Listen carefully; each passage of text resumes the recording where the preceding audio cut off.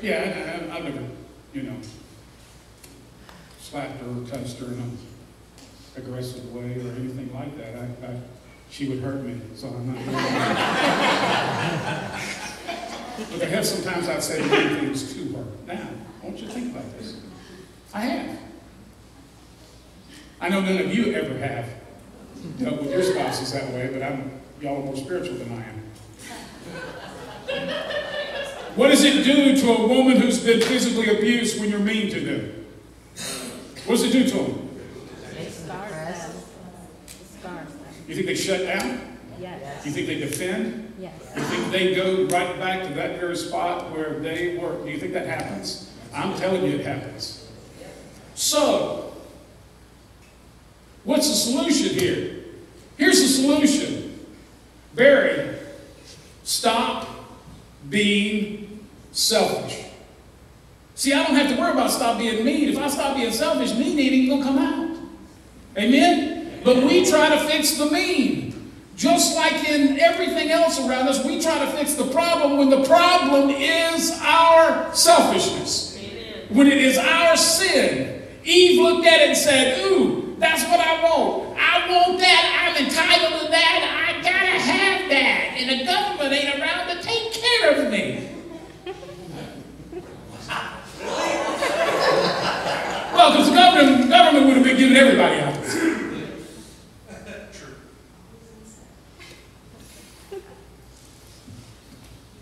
So Satan is a reality in my life. He raises his head. And I've told you before, if you think she lives with a guy that's up here, you're crazy.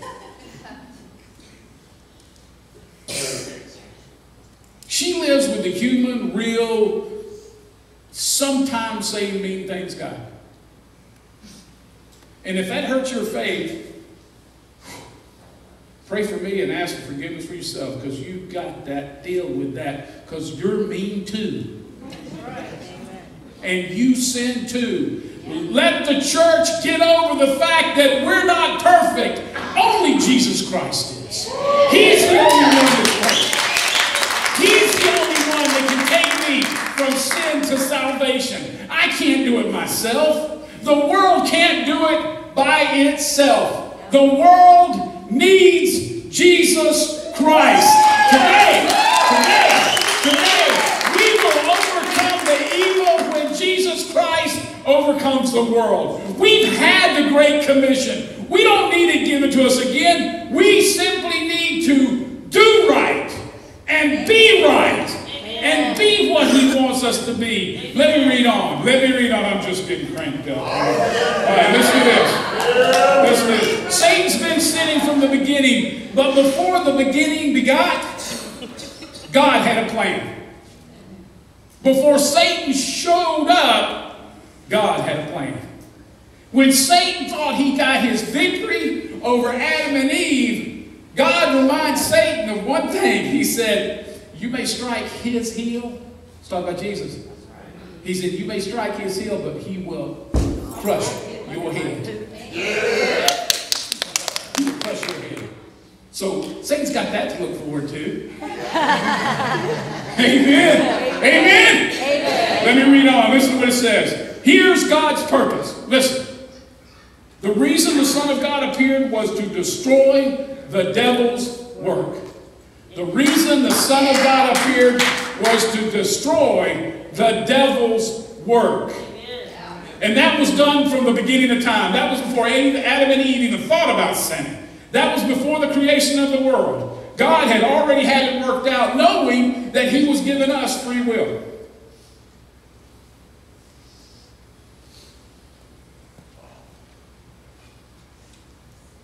Let's stop thinking God's doing this by trial and error. Let's grab a hold to the fact that He's got a plan, He's working out His plan, and you and I are involved in it. How great is that? That's wonderful. But we have free will. We can make choices. Here's the thing that is killing the world, that is killing us. We're choosing our choices rather than God's choices. Because we want to do what we want to do. David Aiken and Neil Huff stopped up at my house one day. They were in a Volkswagen Beetle. You know what they are? Volkswagen Beetle? You know, I think it was like a 68. And it had the running boards on the side. You know what I'm talking about? Right? And the, and the roof opened up. So Ken Rice and myself, we were going down to Ken's house. He lived oh, about two blocks down. And we were going down to his house. And they said, jump on board. We'll give you a ride. Seemed like a good idea. So we jumped on board. We're hanging onto the roof. We're going down the hill. They went past Ken's house and started speeding up. We're hanging on. They're laughing. It ain't funny. We got to the high school, and we was turning around in the high school, and Neil thought, now this will really be funny if I close the roof. So he closed the roof, and so I'm a pretty agile athlete. Back then, I was quick as a cat. Like Muhammad Ali. I can turn off the light and be in the bed before it got dark. I was quick. Quick. I figured I got this. All I had to do was grab a hold of them, right? I mean, the window was down. All I had to do was grab a hold. I went, I'm built for bouncing, folks. I bounced and slid, and I tore this arm up and this elbow and right back in. Oh, boy, that's good. I'm talking, I had asphalt in my fanny. Went, tore my shorts off. I mean, it, I was, uh, I was bleeding and. Now, that was on a Thursday. On Saturday, I was supposed to play in the state championship YMCA game. We played championship game for our division. I didn't get to play. Ken didn't get to play. We were two of the leading scorers, and we had to sit on the sideline and watch our team lose. We lost three to two. Now I know if I'd have been in that game, and Ken had been in that game, we'd have won the state championship. No doubt in my mind. But because I chose to get on a running board, my team suffered. Because I chose to, you say, well, wait a minute, Barry, that was their sin. They were responsible. Yeah, they were to a degree, but I made a choice. And that's the way we deal with sin today. We say, oh, it's their fault. But sometimes the they that we're blaming is not the they, it's the he. We spend all our time blaming Satan when we've already overcome him. We say it's Satan's fault. Well, the truth of the matter is, if you've got the blood of Jesus Christ, the Bible says, Greater is he that is in you than he that is in the world. I've already won because Jesus came to destroy the work of Satan. Amen? Amen. He's destroy it. He says he came to destroy the work of Satan. Because Satan held the keys to death and the grave. Jesus took those away from him. And in taking them away, the Bible says that he led in his train, going back to heaven, he led captives free. We have been set free in him. We need to understand our position in Christ. The work of Satan has already been destroyed. We just are being, here it is, selfish. We let that rule because one thing that the blood of Jesus Christ can't overcome, you say, oh, he said something. It's the same thing that happened in the garden. Your free will will cancel out what he wants to do. That's why we're a church of grace. Joe said we're a church of grace. We are. Because you see, sometimes when we get in the mess that we're in, because of our own selfishness, God will say to us, Come here. You need a little grace today. You need a little mercy today.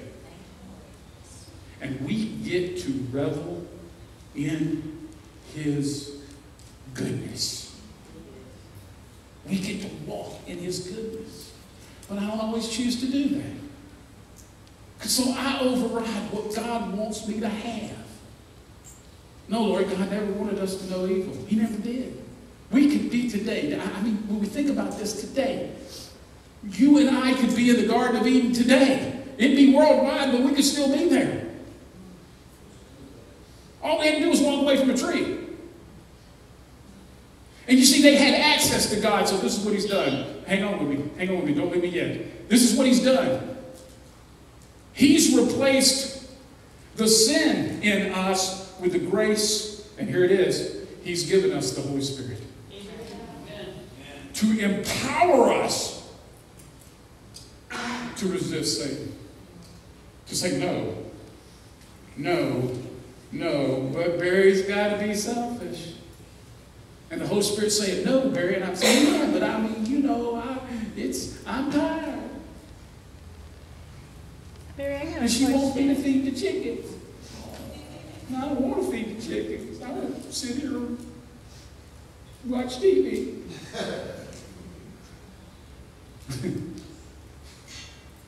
the chickens don't care who come feed them, as long as somebody does. But God is calling us to greater things than feed the chickens. He's calling us to, as I read earlier, He's calling us, He's calling us to do good in His name. To do righteousness in His name. The one who does righteous or does right is righteous. That's what John just said to us. And John is repeating or repealing the thought of the Gnostics. The Gnostics came along and said, hey, it doesn't matter whether you sin or not. That's what he's writing to. The Gnostics. Who created a whole religion that said, doesn't matter. Doesn't matter what you do in the flesh. So what matters is what you do in the spirit. I want somebody to explain to me how I separate my flesh from my spirit.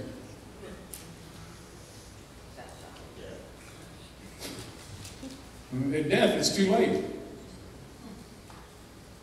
So he, let me close, or we'll talk in a minute. Let me close this. Listen. No one who's born of God will continue to sin. That means, that doesn't mean you won't, ha- you won't do a sin. What that means is you won't live in sin. Okay? Those who are born of God don't live in sin any longer because God's seed remains in them, the Holy Spirit. There's his seed. Because God's seed remains in them. They cannot go on sinning because they've been born of God. You must be moved by the Holy Spirit to listen and say, I can't go on sinning because God's living in me. Here again, it goes back to you get to choose from the tree of life or from the tree of good and evil. And every day as we pick the knowledge of good and evil, see, because that's what that really was, is didn't they become just like God in that respect? They understood what good and evil was. And what a burden that has been for us since then.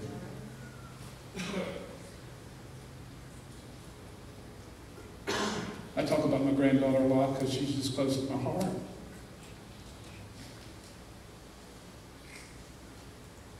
I don't think a two year old can grasp the concept of evil. But they can grasp the concept of, without fully understanding it, they can grasp the concept of being selfish. They can't explain it. They can't say, well, I'm in sin now. That's the whole point. They can't. There's innocence in them. But it's our responsibility to say, Bradley, don't pull Sugar's tail.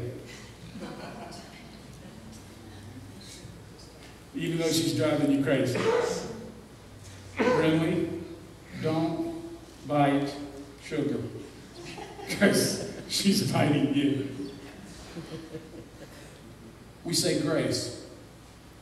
Now, she, she ain't caught up on all the God is great, God is good thing. But the one thing she has caught is this. Every time we finish, she says, Amen.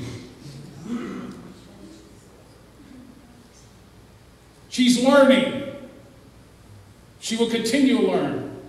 As long as she's around her papa and her nana, she's going to learn who Jesus is and what he does and how he loves her. We're going to teach her all those things. Lana, uh, uh, Jesus loves me. Nana was gone the other day, and she was laying down for a nap, and she asked me uh, to sing, um, You Are My Sunshine. It was not pretty. You are my sunshine. She didn't care. And as soon as I finished that, she says, Jesus loves me. So I sang Jesus Love Me. It is that innocence that God wants you and I to have with Him. That's, that's what His desire is. That's, that's what He wants. But if we beat her and we abuse her and we are mean to her, that's what she will grow up to be. And the evil that is in the world is because men love darkness. And the light is not shining. The light's got to shine. As the light shines, it casts out darkness. Let me finish. This is how we know who the children of God are and who the children of the devil are. Anyone who does not do what is right is not God's child, nor is anyone who does not love their brother or sister.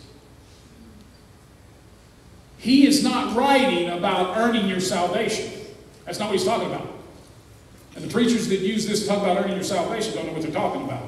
Because he's writing to, who's he writing to? Christians. He's writing to people who have already been saved.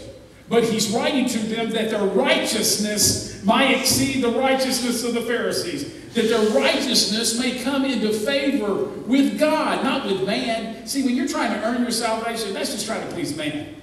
When you're trying to please God, your righteousness will shine because you want, desire to please your Father in heaven. That's why we do what is right.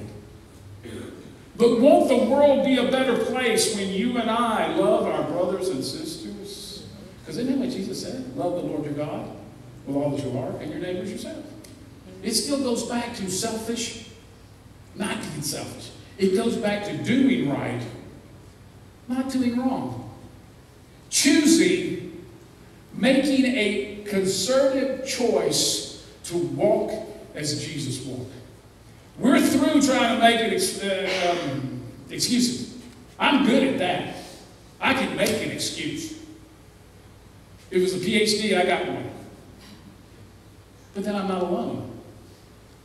It's time for the body of Christ to own its sin and let Satan know he has no place.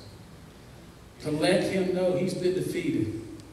I heard this once, I don't know where it came from, but I love the old saying when Satan reminds you of the past, remind him of his future. Let him stand there. But evil will always be with us. Because Adam and Eve ate from the tree. But just by not mentioning it doesn't mean it doesn't exist. It exists. Someone who can kill a dog and then put it on Facebook, that's an evil person. That's an evil person. But they, they got there. They got to that place by the choices that they made. Brothers and sisters, you and I have placed in. Brothers and sisters, you and I have a choice today. We can this very day choose to walk in Christ, we can choose to say, This is what we believe. That light will cast out darkness. That light will overcome darkness. We can choose to believe that he is greater than us. That the one living in us is greater than he that is in the world. He's defeated by the perfect work of Jesus Christ. I believe that. And I believe in doing so, you and I can step up. But it's a choice that we will have to make. We will choose to do what was right. We will choose to walk after him. It is the choice that we're being called upon to make this very day. So where you're sitting and where you're standing, just ask the Holy Spirit to help you. And then say, that's what I'm going to do. Every day I'm going to strive to do that. Because that's what God wants out of us. And in doing so, His grace and mercy will be applied in our lives, and we will overcome. And it's not easy, is it? It's not an easy process. Whoever told us that, they didn't know what they were talking about.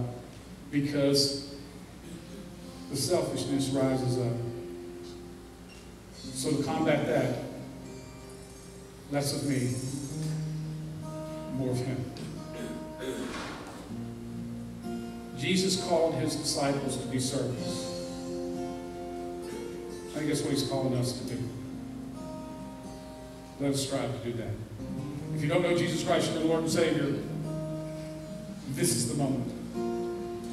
And if you do know him, there are things we may not be doing that, I mean, we may be doing that may not be pleasing to him. Let's just ask him to overcome those things. I, I can't name them, I don't know what it is, but let's just ask him. I know what it is for me. Today.